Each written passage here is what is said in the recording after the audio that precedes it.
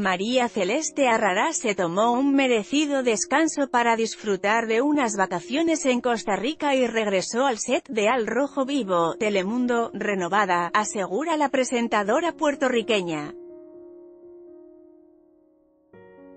Fue una vacación bien relax, llegué restaurada, confiesa. Arrarás ha viajado el mundo ya que descubrir nuevos destinos es uno de sus pasatiempos favoritos.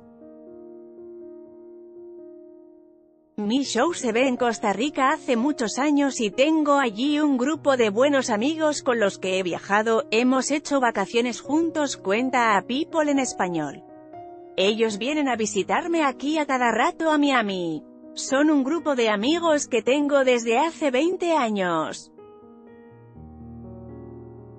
En una de esas ocasiones que fuimos a Costa Rica hace 22 años, mi hijo Julián fue concebido allí en este hotel que se llama Punta Islita, confiesa de un viaje que hizo con su ex esposo Manny Arbesu hace décadas y cambiaría su vida. Edit Post.